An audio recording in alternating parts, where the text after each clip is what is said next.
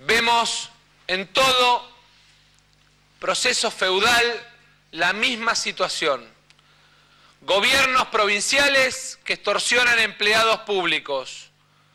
Gobiernos provinciales que con sistemas de punteros extorsionan a beneficiarios de planes sociales. Vemos además la utilización del aparato del Estado de manera desprejuiciada, casi desvergonzada para todos los procesos electorales.